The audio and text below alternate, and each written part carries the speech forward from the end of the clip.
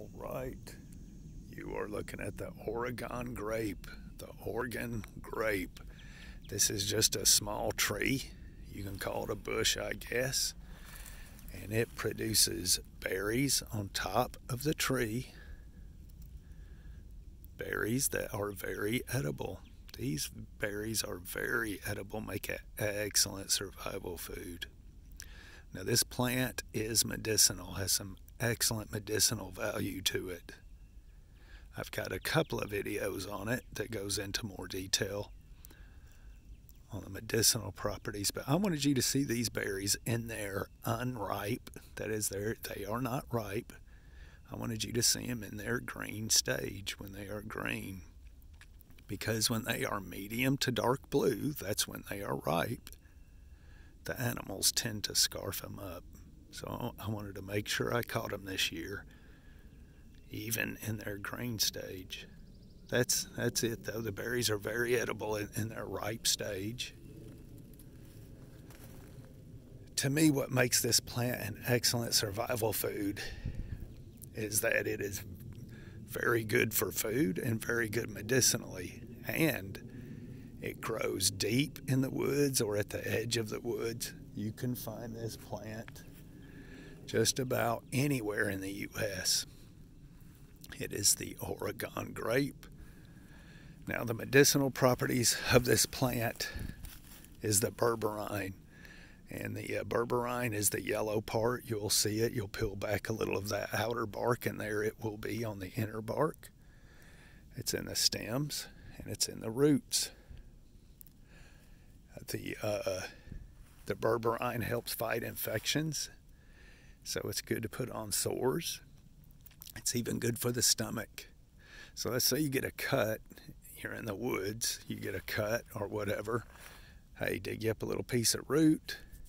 I would chew up the root a little bit, and I would then I uh, mush up that root, and then I would stick it on my cut to help fight infection. You can chew you up some of that root if you have any any type of stomach problem and it'll help with any stomach ailment for sure. Excellent for that. It will clean out your bowels. It sure will. Anyway, study that out. Find out. I've got another video on it. Uh, the internet's full of stuff on berberine and the or, uh, medicinal properties of the Oregon grape tree or plant. But this video is on the edibility of the plant, and that is the berries. Excellent survival food. Like I said, medium to dark blue, that's when they're in their ripe stage and ready to eat. Make an excellent survival food. I uh, got a couple of these growing in buckets at the house, which I'm going to transfer to Tennessee. There's already two or three growing on the property up there. I'm going to put a couple of more. I want these things to flourish up there because they make an excellent survival food. Anyway,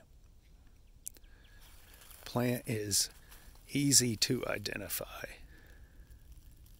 Just take a look at it. Don't even have to talk about it. You can see.